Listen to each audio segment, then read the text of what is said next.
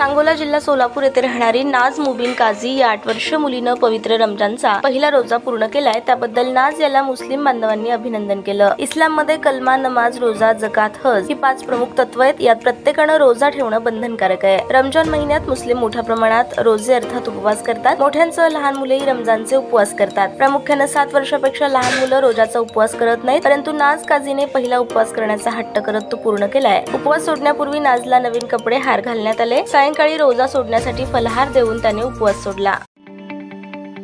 ताज्या बातम्या पाहण्यासाठी प्राईम महाराष्ट्र न्यूज चॅनलला सबस्क्राईब करा.